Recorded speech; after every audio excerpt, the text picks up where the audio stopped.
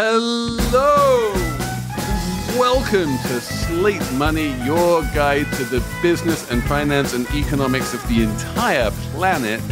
I'm Felix Salmon of Axios. I'm here with Elizabeth Spiers of New York Times and Slate and places like that. Hello. I'm here with Emily Peck of Axios. Hi. Hello. And I am so thrilled to be able to be here with Henry Farrell. Henry, welcome. I'm delighted to be here. Uh, Henry, who are you? Introduce yourself and plug your book. So, I am a professor at Johns Hopkins. I have a ridiculously overcomplicated title for the professorship.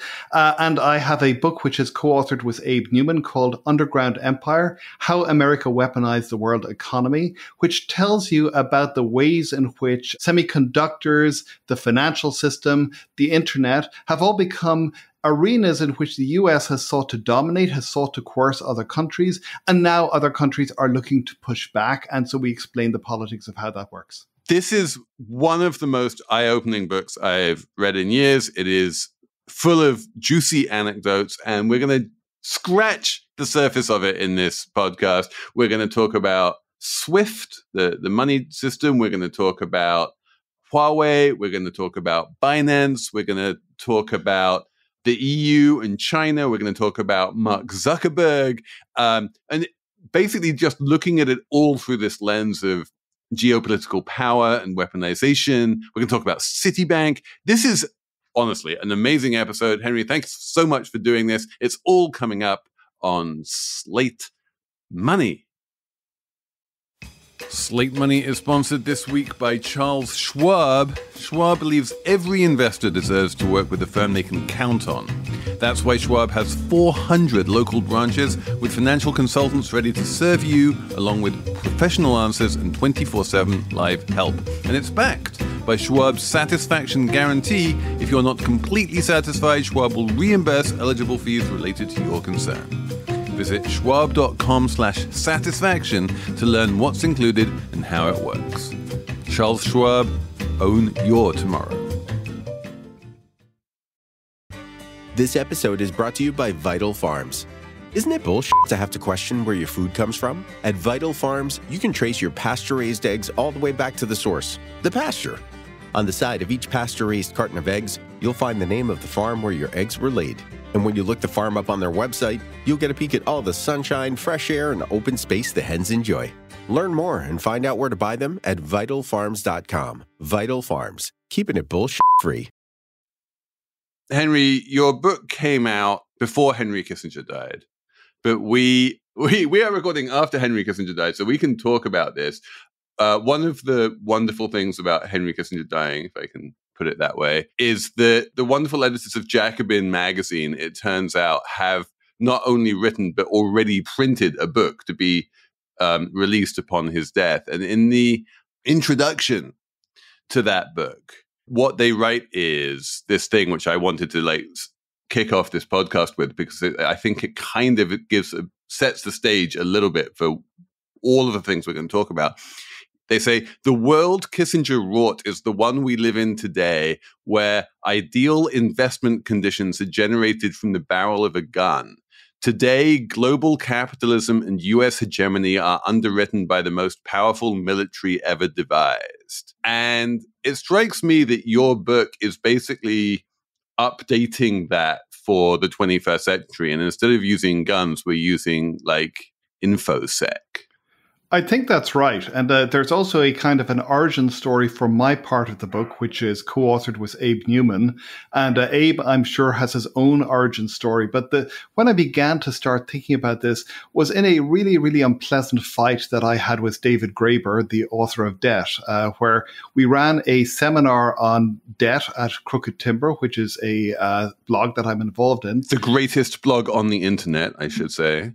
It, it is a big, it has been going for a long, long time. I think uh, a couple of decades at this point, which is a little bit terrifying to think about. But more or less, what happened was that Graeber was a, a, subject of a special seminar that we ran. And I was one of the uh, contributors to that seminar. And I wrote a thing which he really took strong exception to. More or less, what I said was that uh, he had described the world as being a tribute system to the United States, which was all uh, about how the power flowed from the barrel of the gun. And I said uh, that that that wasn't the way that it worked. That the U.S. military was very powerful, but that the threat of military invasion simply wasn't enough to explain why it was that the world system of the economy worked the way that it did. And so we had an extremely unpleasant fight where Graeber called me all sorts of things, dishonest, that this, that, and the other. It was uh, not very nice. But in fairness to Graeber, uh, one of the uh, results of that was that I began to think, okay, if uh, the world that we are in, where clearly economic coercion and US power is very, very important, if this does not flow from the barrel of the gun, then what does it flow from? And then uh, about a decade after that, uh, nearly, uh, Abe and I were writing, we were thinking about the uh, SWIFT network, and it began to come to me uh, that this was, in fact, one of the major sources of US power. Was this a system of dollar clearing? Was this system of financial exchange? And how it is that this really had become the uh, way in which the United States managed to coerce uh, large parts of the rest of the world to comply with US laws, to uh, try and do whatever it is that the US wanted them to do. So, so the, the SWIFT thing is, I would love to start with SWIFT because we've talked about SWIFT on and off on this show for many, many years, um, but never in this context. SWIFT for you know is, is something that we come across like every so often if we want to make an international wire transfer. Like the bank will have a SWIFT code. And you're like, okay, it's just like a communications messaging system between banks so they can send money to each other. And technically, it is a non-profit based in Belgium. And if anyone you would think could go about their business sending messages around the world without suffering interference from the National Security Agency or the US government. It would be a non-profit based in Belgium. And yet you have a fantastic chapter in your book basically saying, uh, you, you can tell me exactly what it was, but it wasn't all that long ago. The, the US just woke up one morning and, and said, you know that thing about you're never going to give us any of your information? Well, never mind that. You're going to give us all of your information. And they said, okay, then. So yes, and I think that this was uh, the other part of the origins of this book. This is really Abe's part was that we had written a book which was about Europe and US fighting over privacy, and Swift plays a very very important role in that. And so Abe had thought there's something important here that nobody pays attention to because Swift is such an incredibly boring seeming organization. The stuff that it does just seems excruciatingly dull. It really is the plumbing of the international financial system. So then you begin to wonder why is it that you have this big fight happening between Europe and the US. And Abe said, we ought to do something on this. And so this is the second part, as I say, of uh, how this came together, was Abe's attention to that. Really, the story of Swift is that it is a Belgian cooperative, as you say. Uh, it is doing this excruciatingly boring work, and it has used its boringness as a shield against the US government for decades. So at a certain point, Mueller of the famous Mueller inquiry against Trump comes to uh, Swift when he is uh, in charge of the FBI, and he more or less says, "Give us uh, all of the information you have." And Swift refuse, and Swift, I think, have the tacit backing of the U.S. Department of Treasury, which does not want the international financial system to be messed up by U.S. Uh, law enforcement or U.S. intelligence and its demands. But then, post September 11th, there's a sudden striking change. Treasury changes from being the protector of the global financial system into being one of the actors which says, let's figure out how to take this vast, unruly system that has been created and let's turn it into a means for the United States to pursue its adversaries who have wrought this uh, horrific blow against the United States on September 11th, 2001. And suddenly, all of these aspects of the global economy, which appear to be dull, which appear to be boring, which appear to be no more than plumbing, these, the plumbing becomes political. The plumbing becomes a means through which the United States can begin to tap into all of these financial infrastructures and figure out what people are doing what people are sending to each other, what, what ways the money is flowing. And then gradually the United States begins to experiment in ways of turning this. And here I think SWIFT is important, but the dollar clearing system is probably more important, begins to experiment with ways of turning this into a tool of coercion. Yeah, and to tie it back to what you started off by saying, it, the United States goes from enforcing its will through the barrel of a gun to enforcing its will through the the dollar. That's that's the whole thing. It goes from one kind of violence to economic violence. I feel like this became most clear with what the United States did after Russia invaded Ukraine, but as you lay out, it's something that's been going on through trial and error. What what do you say? You say in the book something like let's see what this button does is how the US kind of tested this out and saw and and and found the limits. And so far it doesn't seem like there are limits to the the way it can wield the power of the dollar around the world. Although there are. I mean this is one of the interesting things. I remember in march 2022 after russia invaded ukraine and there was talk about cutting russia off from swift a lot of people talked about that as, quote, verbatim, the nuclear option. This was going to be the thing that basically caused the entire Russian economy to implode because they wouldn't be able to import anything or export anything.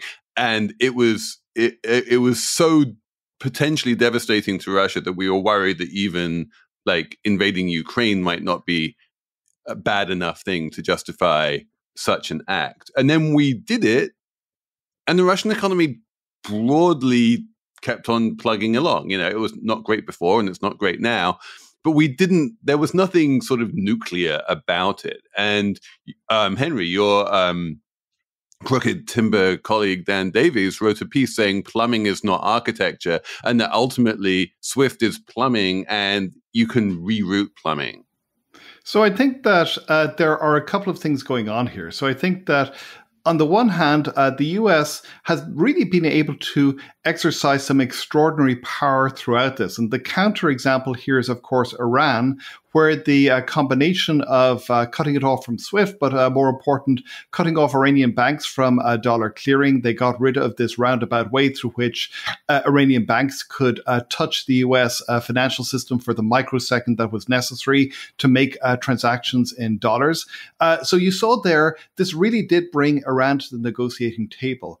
But I think that there are there are, as you say, there are some quite important limits to power. And a lot of the conversation that we see happening in the op ed pages really focuses on the question of whether US dollar dominance is going to disappear, with the implicit assumption being that it is going to be replaced by a different currency. I don't think that's going to happen. I think if you see things happening, it'll be more like the kinds of things that Dan uh, suggests that you will see nibbling around the edges, that you will see all of these informal dark spaces beginning to uh, spring up in the global economy. And we have seen that happen to some degree with respect to Iran and certainly also with respect to Russia. And uh, here we have seen various countries such as uh, Turkey being willing implicitly to serve as a kind of a cutout through which all sorts of sketchy uh, transactions actually flow. Uh, but uh, this does not mean that the US dollar is going to disappear. The second way in which uh, we have seen these uh, weapons becoming turning out to be less important or less of sort of devastating than uh, we thought is that, uh, as you say, their consequences for the economy, they turn out, you know, they turn out to be substantial, but they do not turn out to have that immediate devastating impact that people thought that they would have. So there's been a very, very interesting change in rhetoric in the last couple of months coming from the Biden administration. At the beginning, you saw to some extent from Biden officials, I think more from European officials, the sense of, uh, oh my God, this is a devastating thing, a kind of an Oppenheimer moment where uh, we have become like gods. Look at the majesty of the power that we are wielding against Russia, to a, well, actually, that probably isn't going to happen. But instead, what we are seeing, we are effectively putting sand into the gears of the Russian economy, which is grinding slower and slower and less effectively. So this in a certain sense, is uh, useful if you want to try and degrade the ability of an adversary over the longer term to do bad things. Certainly, if you're trying to get Russia to make major concessions in its war against Ukraine, this probably is not going to be uh, what you wanted to do. Right. But the, the, of course, the other thing that happened after your book was published is this massive criminal settlement that the United States did with Binance, um, which just happened a few weeks ago. And you have a completely compelling theory that the United States could easily have shut Binance down and deliberately did not, precisely so that they would be able to get in there and put their little NSA mirrors in there and all the rest of it and get complete visibility and sort of infosec on the one, you know, large part of the sort of unregulated global economy and bring that into the sort of American panopticon. Yes, that's right. That is exactly our theory as to what Binance is. And the underlying argument of this is that if you want to try and exercise coercion, this is really, I think, one of the main themes of the book. You want to have big centralized points of exchange that you can seize and that you can use and turn to your own purposes as a government. And so Binance, in a sense, provides this uh, entry point for the United States into the uh, entire crypto economy. Binance is a exchange where you can more or less you can exchange one cryptocurrency for another. It plays a very, very central role in the crypto economy. And now Binance is obliged to implement all of these uh, bureaucratic means to uh, make sure that its customers are who they are supposed to be, to monitor what kinds of things their customers are sending to each other, and to do this all under the aegis of a external actor and external monitor who has the ability to squeal to the US government if Binance is not behaving in the ways that it ought to behave. And again, in a sense, this is really weaponizing the boring aspects of the world economy because there is nothing duller than know your customer uh, routines. There is nothing duller than all of the bureaucracies that major financial institutions have to install if they want to uh, be able to act as part of the regular global financial economy. This is not uh, thrill a minute stuff. But once you get this bureaucracy installed, it becomes a self perpetuating thing. And it also becomes a kind of virus because then Binance, if it wants to make sure that it is keeping its nose clean, it is going to want to make sure that its major interlocutors, the other actors who it does business with, that they also have know your customer type institutions set up. And it begins to spread, as uh, two sociologists have uh, described, it begins to spread as a virus uh, through the uh, financial system. Uh, this is what happened to the uh, regular financial system over the course of the 2000s. And this is probably going to happen to crypto as well. There are bits and pieces of the crypto economy that are trying to in- insulate themselves from this. Uh, there's a famous saga with Tornado Cash, which is a cryptocurrency mixer, but it is going to be very, very hard to do this and to maintain yourself as uh, as a significant entity that is handling substantial amounts of money. I love the idea that we have moved from a world where power is exercised through the barrel of a gun to a world where power is exercised through like footnote seven on a KYC form. That's exactly right. And one of the uh, best quotes I think we have in the book is from Kevin Wolf, who used to run another extremely boring part of the US government, which is the part of the Department of Commerce that uh, implements export control uh, regulations. And he describes how there's this little footnote, I'm sort of in a uh, regulation that the Trump administration uh, administers, which uh, implements this new twist on export controls, which implicates trillions of dollars. You know, so literally you have this uh, thing in eight point type buried in this uh, really, really impossible to read for anybody who is not a trade lawyer document, which fundamentally reshapes uh, US power. And it all emanates from this tiny little eight point footnote. Slate Money is sponsored this week by GiveWell. It's the end of the year. This is a great time to donate money. Remember that donations to 501c3s like GiveWell are tax deductible. And they can be large. They should be large. We should be generous this time of year. But when you spend a lot of money, when you're making a big purchase, you want to make sure that you're making the right choice. You can listen to the marketing from the mattress sellers or the car sellers, or what you can try and do is try and find an independent resource that's rigorous and trustworthy. GiveWell is that kind of resource for donations. They aren't a charity themselves so much as they're a pass through vehicle. They will take your money and they will pass it directly, 100% of it, to the charities that are the most effective and that need the money the most right now. For more than 15 years, GiveWell has researched charitable organizations in incredible depth, and it directs funding to just a tiny number of the highest impact opportunities that they've found in the world. Over 100,000 donors have used GiveWell to donate more than $1 billion. dollars That has probably saved over 150,000 lives and improved the lives of millions on top of that. You can find all of their research and recommendations on their site for free.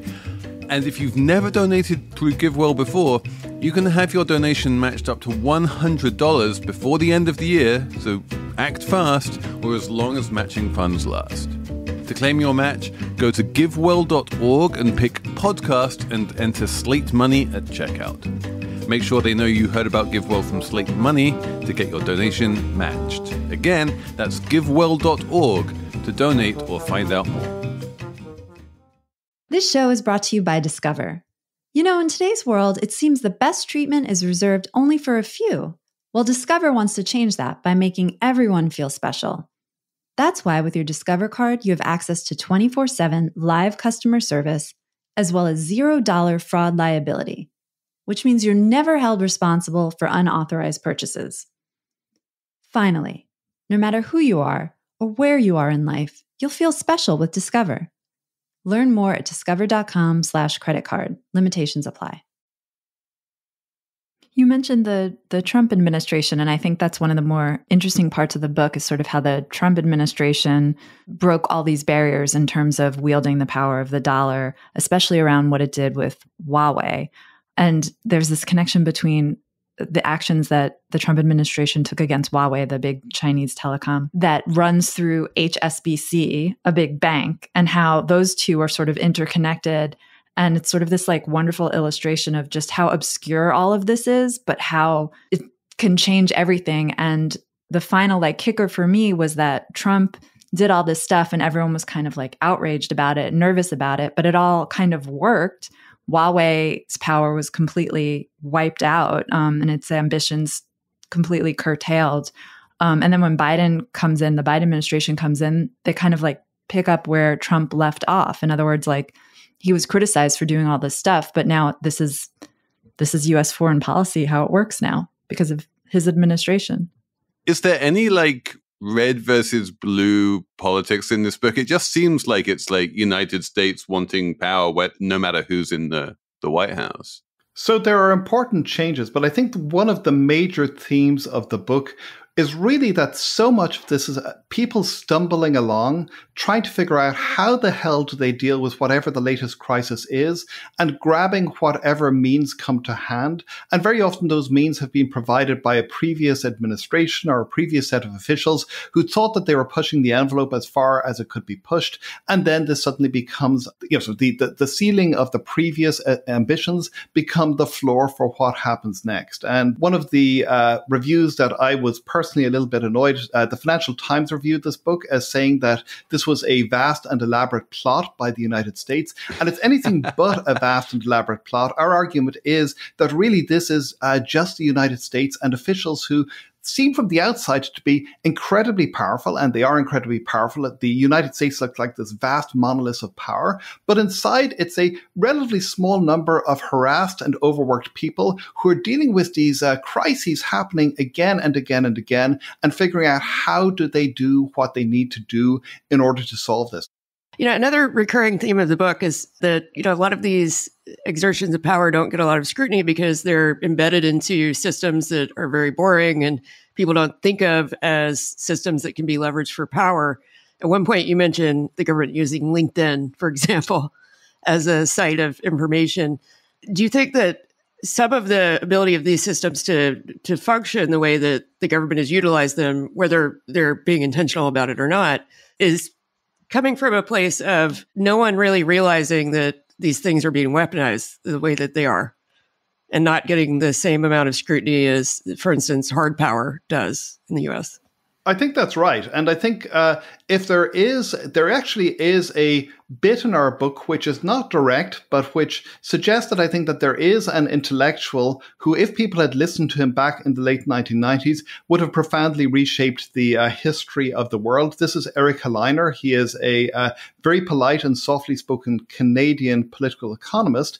And back in the 1990s, there was a big argument over globalization with people like Walter Wriston, the CEO of Citibank, who is just a fascinating uh, intellectual as well as a, a businessman man and somebody who really builds and shapes these systems.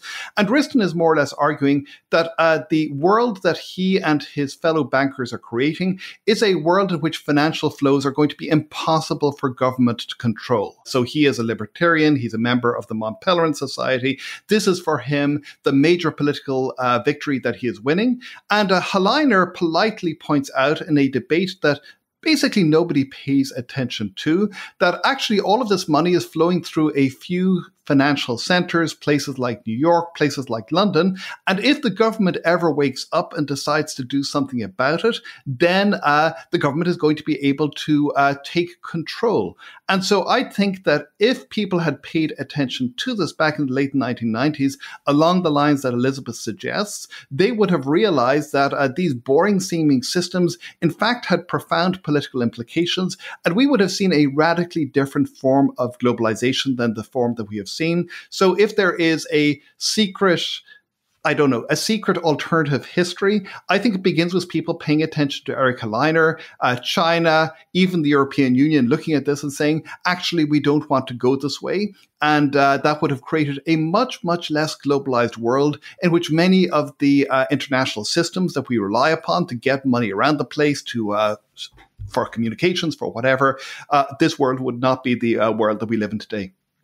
The European Union examples in your book are so interesting because it really seems like it's a story of heartbreak for the EU. They're just sort of like going along and trusting that the US has their back and you know they have influence with the US and it's all great and good and then there's this rift and they're just heartbroken. The rift is I think it's over Iran and and SWIFT, right? And and sanctions. The EU puts a, an actual law through the books saying if the US forces you as as a European bank to stop doing business with Iran, then that's illegal under under EU law, and you're not allowed to do it. And of course, this law has zero effect whatsoever on all of the banks stop doing business with Iran. It's and it's interesting to me because post World War II, you know, and you get into this, the, the the whole idea of the EU is like transcending this military stuff and the and the markets will be free and we'll all be friends and it'll be all wonderful. But then ultimately the US can't resist using the power of you know finance and financial markets to to to do power. And they realize oh it's not this utopia we'd long hoped for dreamed for. Like it all just goes another way. No, that's exactly right. I think if you look at uh, globalization, people rightly pay attention to the United States as being the major mover and pusher, but the uh, United States has always maintained the option of force behind this, whether this is military force or whether this is the kind of economic coercion that we're talking about. Whereas the European Union really bought into it in a much, much, much more visceral way. I think in part because the EU itself uh, is a creature of markets. And that's something that I think most US observers don't really realize that the European project is really really one of building markets and of breaking down barriers between different national markets. And so to live in a world which was a globalizing world where the world itself seemed to have the same logic as the EU, this was a very, very comfortable world for uh, European bureaucrats to live in. And I think they really forgot the uh, ways in which uh, power lies behind all of these arrangements. But to turn to Felix's point, I think if you have these laws on the book and you're completely unwilling to use them, then they don't have any deterrent force or deterrent capacity. So I think that uh, if we see God God help us, a uh, Trump administration coming in in 2024, the EU is suddenly going to have to get a lot more aggressive in the ways that it thinks about employing these powers. And uh, we are going to see a very, very different Europe than the one we have seen in the past. I wanted to just follow up on on this Citibank thing though, because that's really fascinating. Walter Wriston, as you say, is this libertarian who's who sees the global financial system as it kind of sort of was pre 9 11 as being this like uh, anarchic flow of capital around the world that's that's out with the grasp of, of any government. But by the same token, Citibank itself is the most quasi governmental organization I can think of. Like underneath him is this guy, Bill Rhodes, who is jetting around the world, meeting with finance ministers. He like Citibank is the probably the single most important member of the London Club, which is the all the banks that lend money to to, to countries. Um, Citibank organizes the debt workouts for countries when the countries stop paying their loans, and you get the 1980s, you know, debt crisis in Latin America. It's Citibank that's at the heart of this and that is basically insolvent as a result. And it's, you know, the US Treasury who comes in and rescues Citibank by dint of this thing called the Brady Plan. And, you know, and Citibank shortly thereafter winds up buying the biggest bank in Mexico, which is called literally called Banco Nacional de Mexico, Banamex. And, you know, and then gets into a whole bunch of trouble because they're fe- so close to the Mexican government. And like Citibank's whole sort of global ambitions for the best part of a century are intertwined with the way in which it successfully deals with governments around the world. And I think that on some level, Citibank wanted to be, you know, what the US government has become and what, you know, the NSA has become, wanted to be that sort of powerful conduit between countries. You know, it was always one of the top two FX banks. Um, and and the way that now under its new CEO Jane Fraser, it's basically divesting from basically the rest of the planet, and it's just like, yeah, we're just going to be a sort of big bank in America. Kind of speaks to the way in which that vision has has evaporated.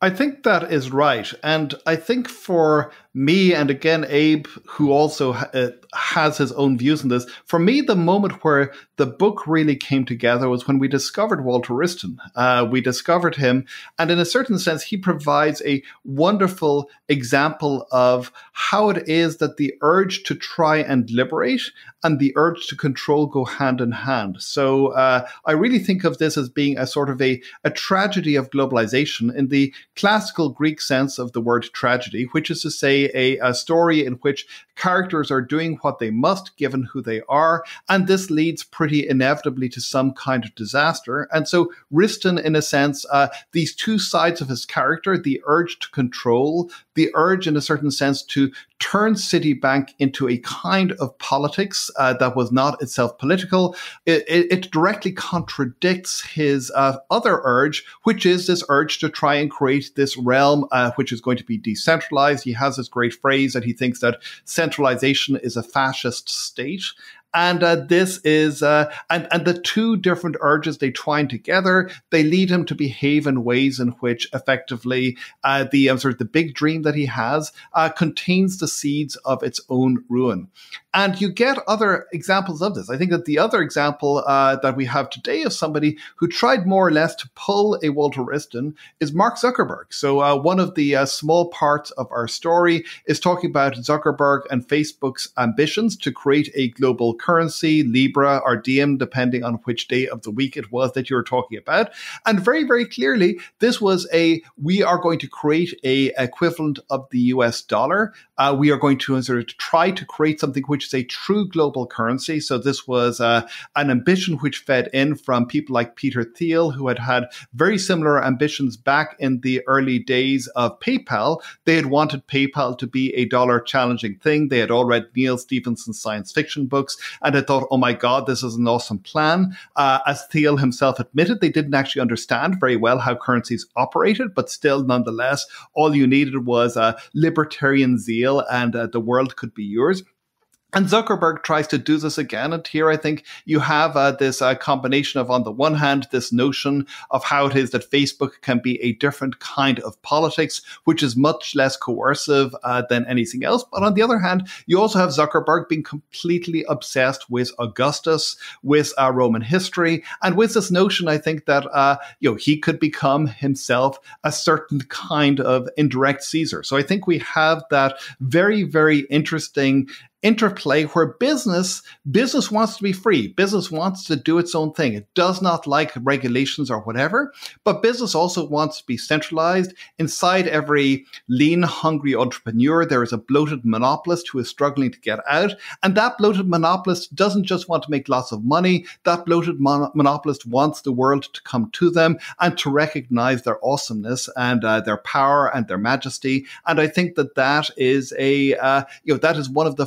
fundamental driving forces that I think help explain why it is, uh, again, getting back to Binance, why why these um, sort of crypto companies, which again are pushing for a very radically decentralized world, end up creating these uh, points of centralization, which then allow government to come in and to uh, take control. So explain that to me. Why was Libra killed and Binance allowed to live? Because wouldn't wouldn't the obvious way to do this for the U.S. government would be to go, oh, it's Facebook. They're based in the United States. They're you know we already have our all of our tentacles inside them. If they want to set up this global currency, all we need to do is throw a mirror inside Facebook and we get everything we want. Why would they be opposed to that?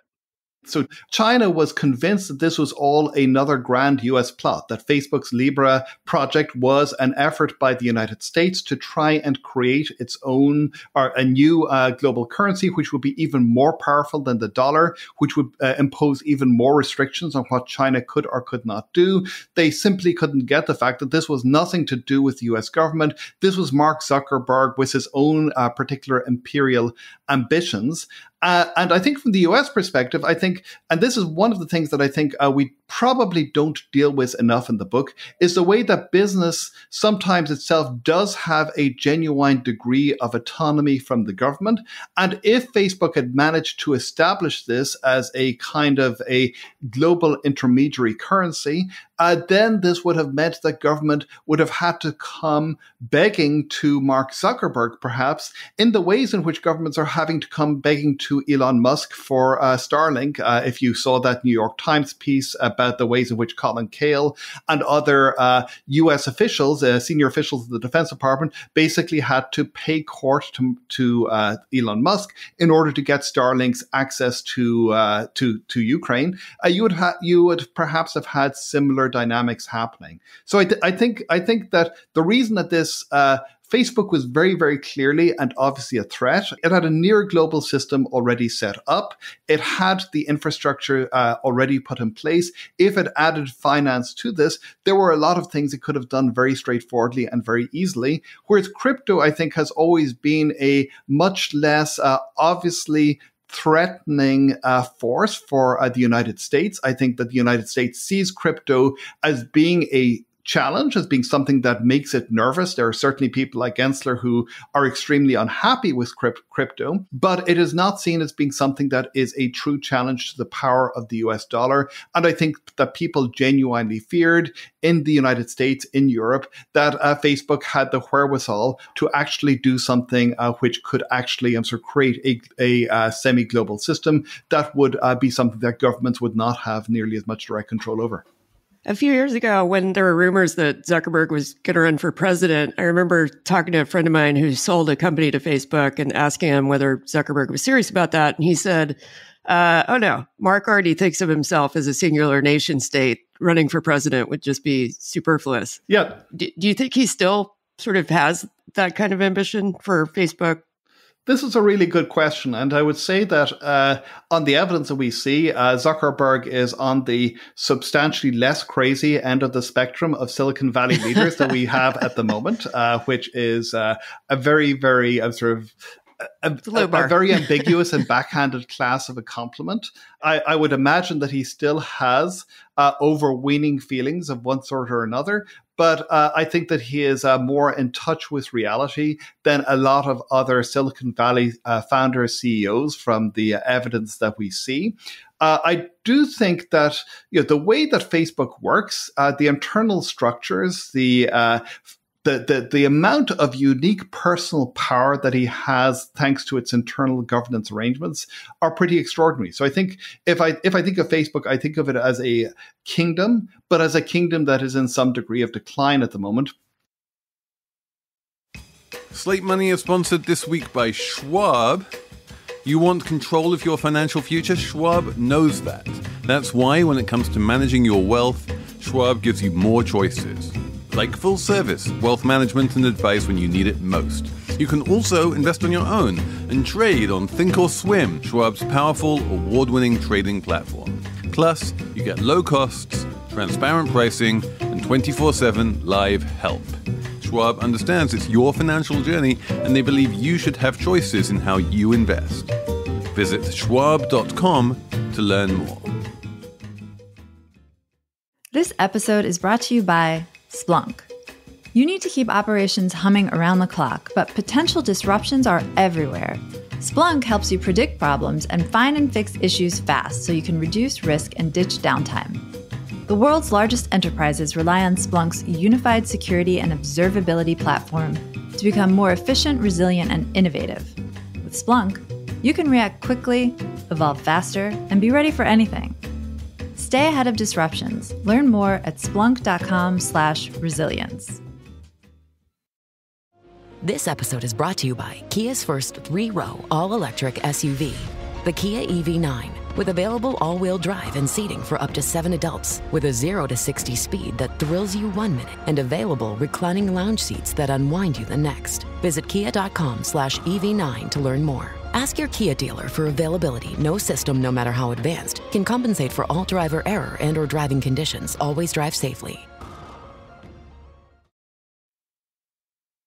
I do want to get you right back into, into the core of your comfort zone, though, by coming back to Huawei and the fundamental reason why the United States wanted to hobble this Chinese telco. And it comes and it goes back really to, you know, the very first chapter of your book, which talks about the way that the internet is a physical thing. It's a bunch of fiber wires. Um, all of those fiber wires um, tend to connect in a relatively small number of connecting points, often in Arlington, Virginia, and places like that, where they can be spied on by the United States and, and used by the United States government for, for the exercise of power.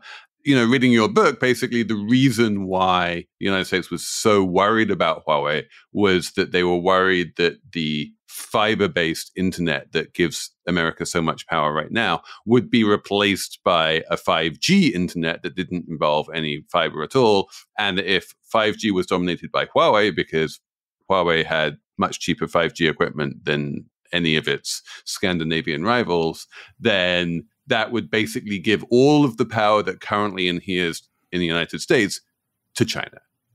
That's right. And I think that this is something, it was one of the reasons that the United States had much greater difficulty in persuading some of its allies, not all of its allies, about the threat of Huawei, is that the threat is a very, very difficult threat to explain without pointing to these effects of infrastructure and the way in which infrastructure can be a source of power, which is naturally a fairly uncomfortable thing for the United States to talk about directly. So there, there was a lot of muttering about Huawei's ability to eavesdrop on the world world, which is true. But uh, the United States, the NSA, almost certainly is able to penetrate Huawei systems pretty happily and can have just as much eavesdropping uh, power. Really, this is all about uh, who is in charge of the infrastructure, who is setting the rules by which that infrastructure is governed. And I think Huawei there, uh, it really was uh, threatening to become a major vector of influence for China, which China could use not simply to influence how 5G was implemented,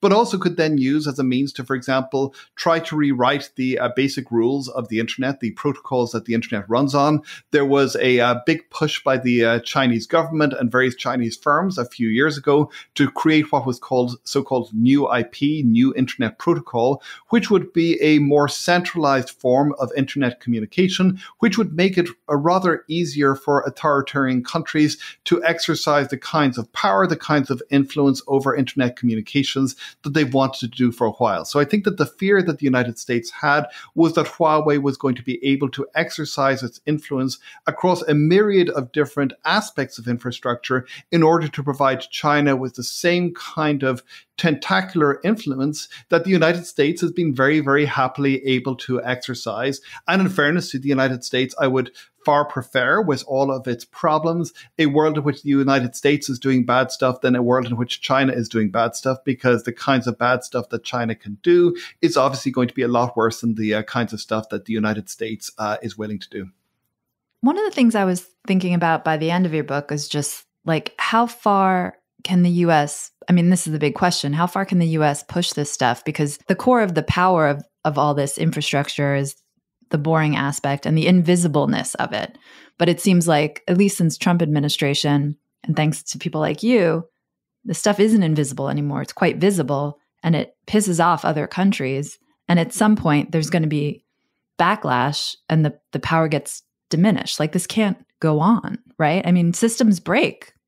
The big event here is surely Snowden, right? Before Snowden, we didn't really know about any of this. After Snowden, there was like front page headlines in the New York Times and the Guardian, and like, oh my God, like, look at how that wonderful word, tentacular, the United States has become. How much effect did Snowden have in making the the invisible visible and changing public opinion or the ability of the United States to do stuff? It had a huge impact. And uh, we, for very broad values of we, have uh, data on this. So Yeling Tan, who is a colleague, uh, she is a professor. She's about to take up a major post at Oxford. Uh, she did some work, uh, more or less, going through Chinese la- government media using natural language processing to see how Chinese debate worked before and after the Snowden revelations, and also after the actions were taken against Huawei. And we see just this vast explosion explosion of fear about US power happening as a result of the Snowden revelations and a sudden shift in government. So we see a huge push after the Snowden revelations by China to try and figure out what are the ways in which it can insulate itself from this form of power that the United States has. This is really a story in which, when we begin to see what is happening, it does have these consequences for politics and it does create these forms of pushback. And uh, to get to Emily's question, I really don't know what we're going to see over the next uh, 10 to 20 years. I suspect that we are not going to see any return to a global system of shared uh, infrastructure which people don't think about and which don't uh, where they don't see this as being uh, something which is political. So, how that is going to shape out as our existing infrastructures age out and wear out and become less fit for purpose, I don't know. We are going to see some degree, at least, of uh, separation between uh, the uh, networks that uh, hold the world economy together. I don't think that we're going to see the full regionalization that some uh, people suggest, but we're going to see uh, a lot more messiness at the intersections. And I think we're going to see, to some extent, people thinking about these networks in adverse adversarial ways. That is, that they uh, want to make sure that when they are doing business with a part of the network that they are nervous about, that they have protections built in. And so that really is going to have some uh, transformative consequences, I think, for the global financial architecture. How those uh, consequences are going to play out, I do not know. But there's going to be a lot of mess, a lot of dispute, a lot, lot of disagreement, and some things that I think we take for granted are going to become much more difficult to do in the future than they have been in the past. So let's have a numbers round. Emily, do you have a number? I do have a number. Me have number. You have number? Sense in a second. Me have number. It's two. Two dozen. Ooh. That is the number of cookies that are baked by puppet wrangler Laura McLean for Cookie Monster on Sesame Street. I know it's a very serious slate money episode, but we need a little, we need to lighten things up. The New York Times has this wonderful story about the cookies that Cookie Monster eats in Sesame Street. And this woman, Laura McLean, who's been making them for years and years since the early 2000s. Um, and they're, they're not like real cookies, but they're somewhat edible. They're made of pancake mix, puffed rice, grape nuts, in instant coffee, and water. And the chocolate chips are from a glue gun. And the whole idea of the cookies is to make them very crumbly. So then when Cookie Monster puts them in his mouth, they crumble. And and this is like two dozen per episode. Yeah, two dozen per episode. It's it's very small batch. It's very artisanal.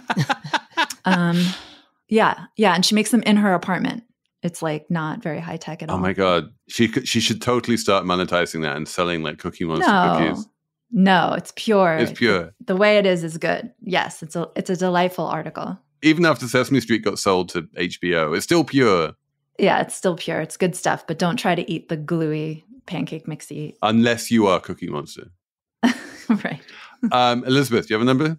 Uh, yeah, my number is 59 million, and that's dollars. And that was the amount paid for a wedding in Texas, or it took place in What? Paris, France. But What? there was a Texan couple who spent $59 million on their wedding, and it included an overnight stay at Versailles, because of course it did, and Maroon 5 playing as the wedding band. and the groom was just indicted for shooting at some cops and may end up spending 25 years in prison as a result. I mean, this if this is actually a reason to have a blowout fifty nine million dollar wedding, right? Because you want to get you want to live life as m- extravagantly as you can before you wind up spending twenty five years in prison. That would make sense. Million. How much do you have to pay Maroon Five? I mean, that's that's an astonishing amount of money for a, a party. For fifty nine million dollars, you could get someone better than Maroon Five. A lot surely, better. yeah. A yeah, lot. I would think so. So there was there was also a rehearsal dinner at the French capital's opera house and a private lunch at the Chanel Haute Couture suite. There there's all this stuff they did while they were in te- uh, Paris that I guess they just called people up and said, "How much do I have to pay to do this absurd thing?" The the Parisians saw them coming, man. I'm telling you, like, the Parisians the Parisians are experts and have been for over a century at separating starry-eyed Americans from their money. Apparently, this is what's happened to the Cheval Blanc Hotel that has become overrun by like incredibly rich Americans, and it's not nearly as cool as it used to be. I mean, that's what happened to Manhattan. Felix, no offense. Too many Americans. Too many Americans. They're everywhere, I tell you. Well, they're not everywhere, but they're in Paris. This is the good thing about Paris. As long as you avoid Paris, you don't you don't encounter rich Americans when you travel around the world so much. Well, congrats to the happy couple. My number is 15, which is the New York congestion price, the New York congestion toll in dollars. Um, we've been anticipating this announcement for some time. And the question has always been like, how much is New York City going to have to charge people to drive into Manhattan in order to, number one, reduce congestion in Manhattan, and number two, to raise a billion dollars per year, which is the target amount of revenue that this is supposed to generate for the MTA, the, the transit system. And a lot of people thought it would be 23. And it turns out that there was like pushback against the idea of charging $23 and it's going to be 15.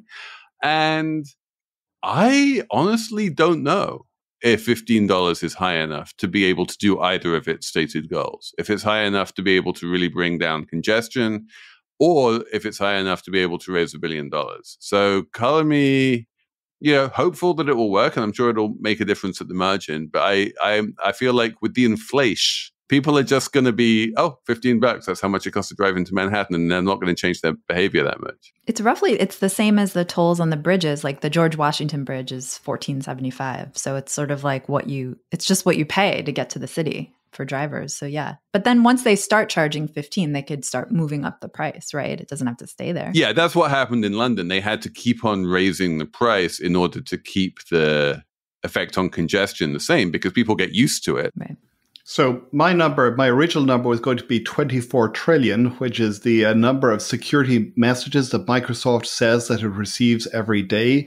Uh, this was part of Microsoft's effort to uh, contribute to uh, Ukraine winning the uh, Ukraine-Russia war. There's a very, very interesting story about how Microsoft has become engaged in this.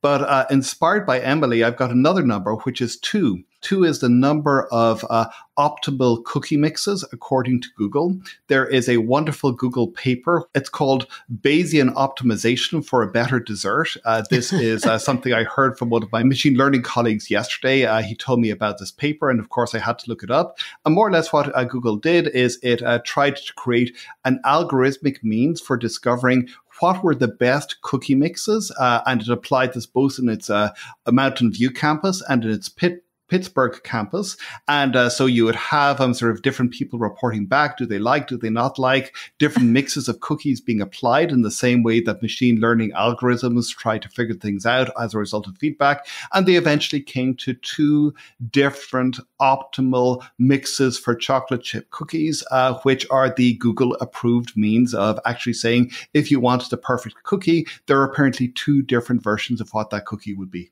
Why don't they just look at the back of the Toll House package where the best recipe already exists? I don't. It's so overly complicated. I don't understand. I'm so confused because that's not this. Bayesian enough for the for the Oh, Google gosh. folks. And th- this also gets to what Felix was saying. My favorite cookie uh, back of the recipe thing has always been the Pepperidge Farm cookies, which have these cookies which are like they would be made in your favorite European bakehouse. Which, for anybody who is actually European, the notion that there is a bakehouse rather than a bakery is something that is going to Yeah, make you is break out in hives and spots. Bakehouse, honestly. Okay, I think that's it for us this week. Thank you, thank you, thank you, Henry Farrell, for coming on. This has been illuminating, amazing, awesome, and brilliant. this is a ton of fun. Thank you. Thank you to Jared Downing for producing. Thank you all for sending in your comments and your questions and everything to slatemoney at slate.com. And we'll be back with more Slate Money.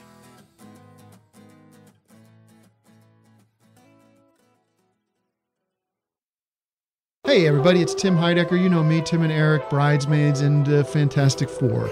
I'd like to personally invite you to listen to Office Hours Live with me and my co hosts, DJ Doug Pound Hello. and Vic Berger. Howdy. Every week, we bring you laughs, fun, games, and lots of other surprises. It's live. We take your Zoom calls. We love having fun. Excuse me? Songs. Vic said something. Music. Songs. Music. I like having fun.